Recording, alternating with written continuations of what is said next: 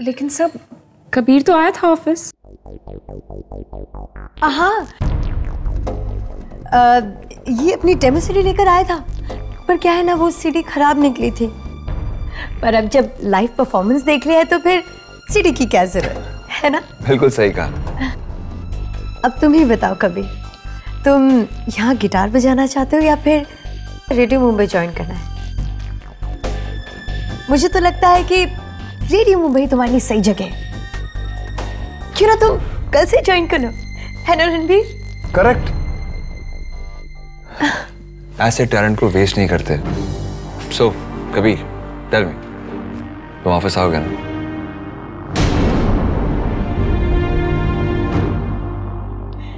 Yes sir good and thank you तुम्हारी वजह से we had a wonderful time see you soon thank you so much Kabir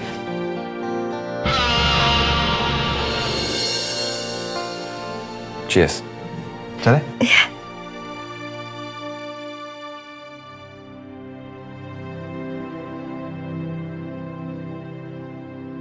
so I guess अब मैं और तुम साथ काम करेंगे।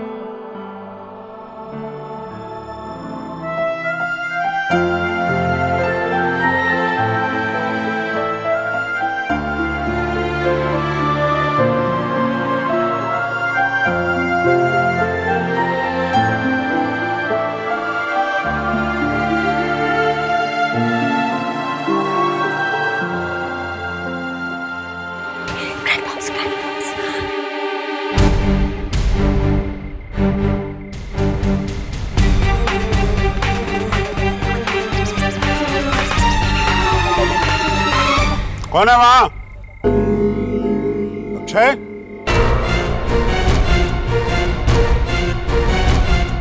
लगता है लगता है ग्रैंड पॉप्स ने हमें नहीं देखा। हम बच गए। अब तो रस्तों की जी तुम पर ही बरसेंगे। अक्षय!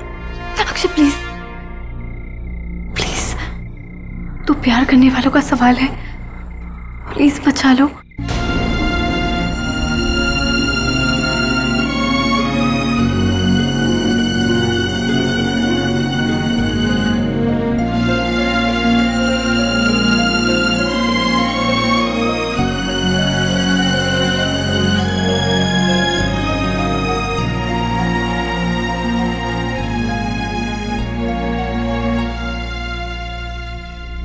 अक्षय तुमने सुना नहीं?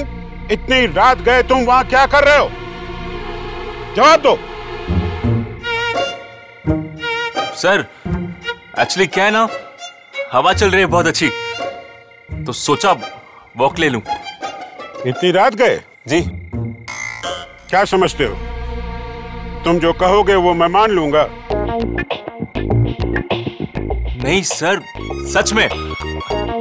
अब आप तो जानते ही ना सर मुंबई में कितनी ट्रैफ़िक होती है सर। और, और यहाँ सर आपका गार्डन कितना अच्छा है? आपका घर कितना अच्छा है? मतलब इतने सुंदर पेड़ पेड़ों के नीचे घास। इसीलिए सर वॉक ले रहा था। थैंक यू लेकिन मैं मानने को तैयार नहीं हूँ।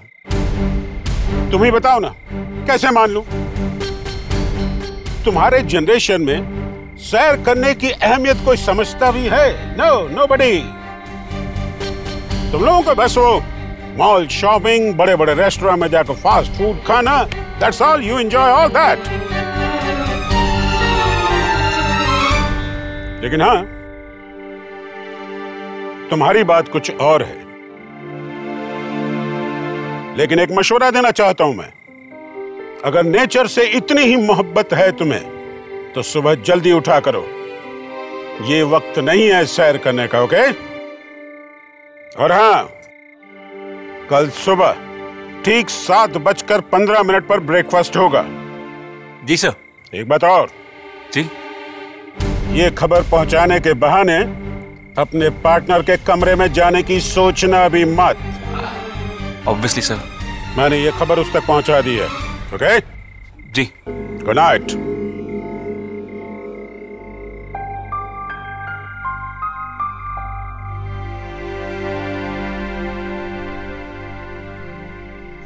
थैंक्स अक्षय तुमने बचा लिया। थैंक यू सो मच वैसे कितना फिल्मी सीन था ना। Wow it was so exciting इससे पहले कि वो हिटलर छापा मारे अंदर चलते हैं। जल्दी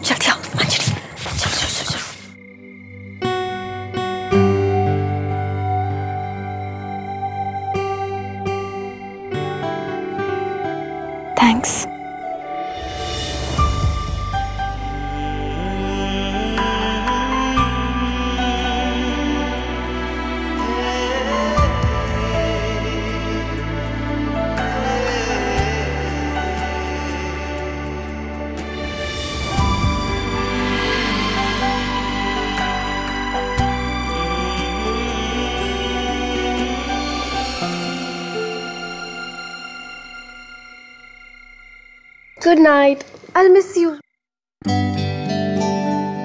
पता है मंजरी, जैसे फ़िल्मों में होता है ना, कि अगर हम किसी चीज़ को सच्चे दिल से चाहें तो सारी कायनात उसे हमें मिलाने में मदद करती है। हमारे बीच में भी कुछ ऐसा ही सीन है। पता है, मुंबई में इसकी सारी पॉकेट मनी खत्म हो गई थी। पर फिर भी, ये किसी तरह मेरे पास लोनावला आई क्या? जब तक खुदा ना चाहे तो प्यार करने वालों को कोई अलग नहीं कर सकता। और हाँ मैं आपको बहुत बड़ा थैंक्स कहना चाहता हूँ। अगर आप आप मेरी हेल्प नहीं करती तो शायद मेरी एंट्री यहाँ नहीं हो पाती। Good night good night take care bye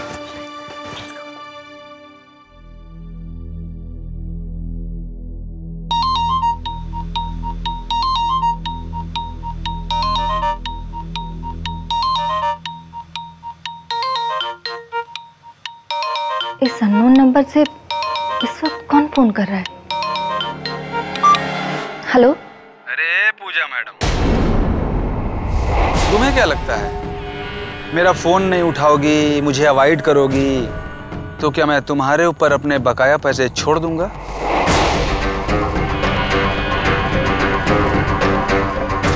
नहीं नहीं वो मैं बस जरा काम में उलझी थी। अरे लड़की तू क्या कर रही थी क्या नहीं कर रही थी इससे मुझे कोई फ़र्क नहीं पड़ने वाला। मुझे सिर्फ़ अपने पैसों से मतलब है। चुपचाप सीधे तरीके से मेरे पैसे मुझे दे दे।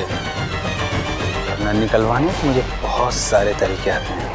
समझ गई? बस बस थोड़ा सा और वक्त दे दीजिए। मैं अरेंज करती हूँ। और कितना वक्त दो तुझे? एक बात ध्यान रखना तू मुझसे बच नहीं सकती। क्योंकि तेरे ऊपर मेरी नज़र चौबीसों घंटे है। तुझे यकीन नहीं आ रहा होगा ना? तो एक काम कर। अपने बेडरूम की खिड़की खोल और नीचे झाँक कर देख।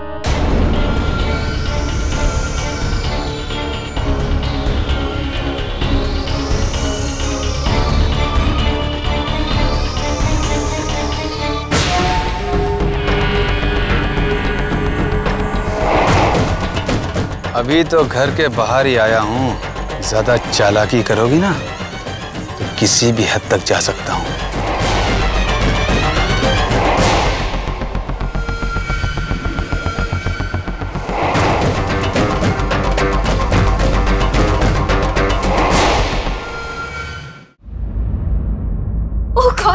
कितना मज़ा आया ना। आपने देखा, मेरा अक्षय आई मीन एके कितना रोमांटिक है। बिल्कुल फिल्मी हीरो की तरह है ना आपको पता है वो रोज मुझे इतने क्यूट क्यूट सरप्राइजेस देता है और पता है उसने वैलेंटाइंस डे पे मेरे लिए क्या किया मुंबई में मेरे गर्ल्स हॉस्टल के रूम से एंट्री गेट तक रेड रोजेस का कारपेट बिछा दिया और पता है उसके बाद हम मुंबई की बेस्ट पार्टी में गए और वहाँ पे डीजे ने मेरे फेवरेट सॉन्ग्स प्ले किए Isn't it great? He's so cute, है ना? Oh, I'm so sorry. मैं तब से सिर्फ़ अपनी कहानियाँ सुनाती जा रही हूँ। आप भी तो बताइए, आपका अक्षय कैसा है? वैसे टू बी वेरी ऑनेस्ट मुझे तो वो बिल्कुल वो एकदम सीरियस वो कैसे एकदम एंग्री यंग मैन की तरह बिल्कुल वैसा लगता है। खैर, आप लोगों ने वैलेंटाइंस डे पे क्या किया? उसने वैलेंटाइंस डे पे तो आपको कोई सरप्राइज़ ज़रूर दिया होगा राइट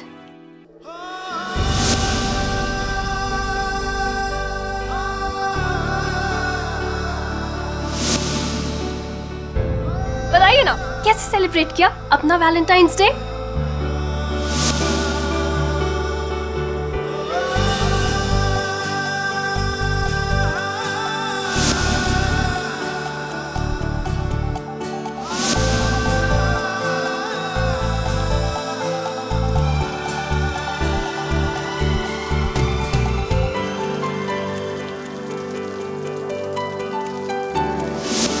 बताइए ना।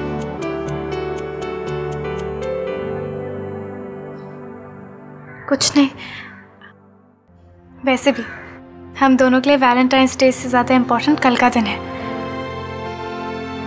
जब हमें रस्तोगी जी को प्रेजेंटेशन दिखानी है। इसलिए बेहतर यही होगा कि अब हम सो जाते हैं और अलार्म लगाकर कल सुबह टाइम पर उठते हैं। ठीक है? ओहो, आप इतनी बोरिंग कब से हो गई? एनीवेज मैं कपड़े चेंज करके आती हूँ।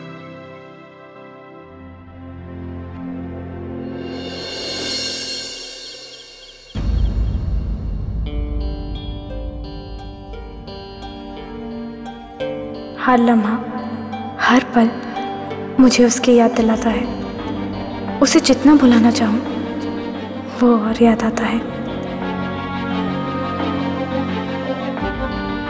शायद रिया ने ठीक कहा, किसी को सच्चे दिल से चाहो तो सारी कायनात तुम्हें उससे मिलाने की कोशिश करती है।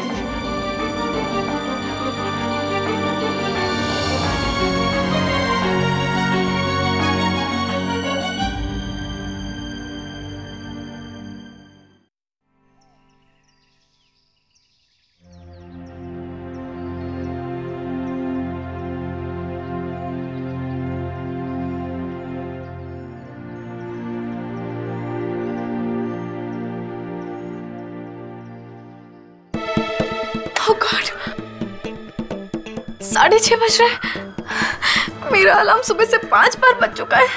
पता भी नहीं चला। रस्तोगी जी ब्रेकफास्ट ये तो बिल्कुल बोर्ड एग्ज़ाम्स की तरह लग रहा है। जब लास्ट मिनट पे पढ़ती थी और सुबह उठ ही नहीं पाती थी। हे भगवान, क्या करूँ? हमारी प्रेजेंटेशन अक्षय। अक्षय उठाओगे कि नहीं? नहीं नहीं, वो तो पढ़ाकू स्टूडेंट था। फूट क्या होगा? लेकिन कल रात को वो भी देरी से सोया था। हे भगवान जाके देखती हूँ।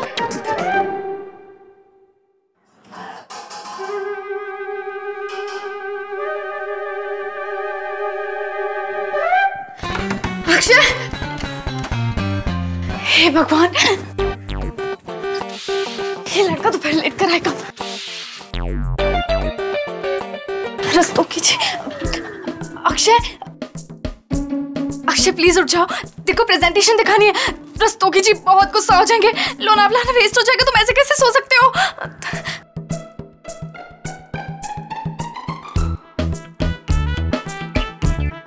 अक्षय अक्षय, उठो ना।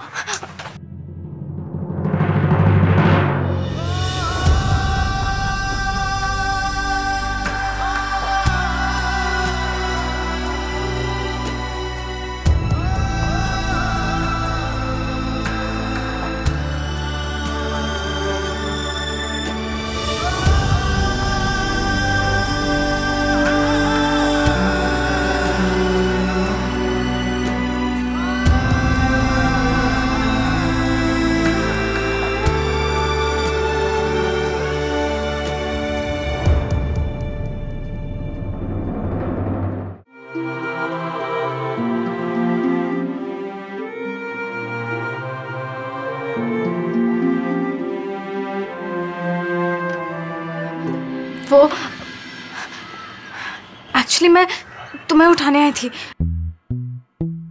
अच्छा मुझे ध्यान आ गया। नहीं तो अगर मैं प्रेजेंटेशन देने अकेली चली जाती तो? देखो प्रेजेंटेशन दे रहा है रस्तों की जी बहुत गुस्सा हो जाएँगे। अब जल्दी से तैयार हो जाओ। मेरे तो हाथ पर काम ही नहीं कर रहे हैं। रिलैक्स देखो, जल्दबाजी में सिर्फ़ काम खराब ही होता है। प्रेजेंटेशन तैयार है, सिर्फ़ हमें तैयार होना तो तुम क्यों टेंशन ले रही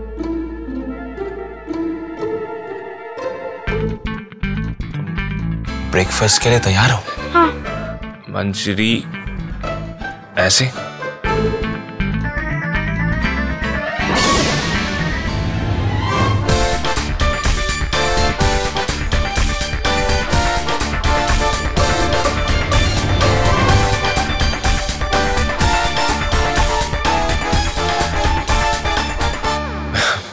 मंजरी तुम्हारे लिए बहुत बड़ा दिन है ये। जाओ तैयार हो जाओ।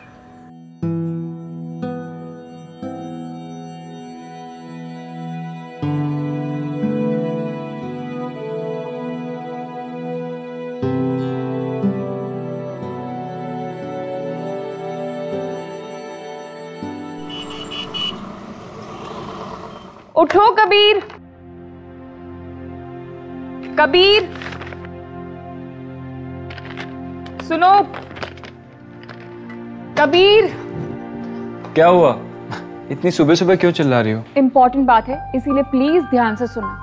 कार की ईएमआई के दस हज़ार रुपए मैंने टिपॉय पे रखे। हैं मेरी अर्ली मॉर्निंग रिकॉर्डिंग है इसलिए मुझे जाना तुम प्लीज़ याद से जमा करवा देना ओके जैसा आपका हुक्म।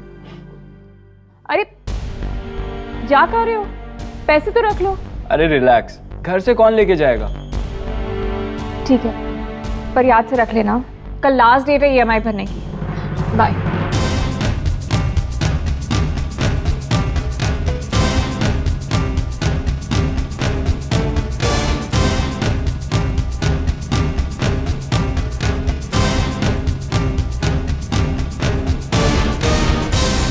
मुझे सिर्फ़ अपने पैसों से मतलब है। चुपचाप सीधे तरीके से मेरे पैसे मुझे दे दे। वरना निकलवाने के मुझे बहुत सारे तरीके आते हैं। अभी तो घर के बाहर ही आया हूँ।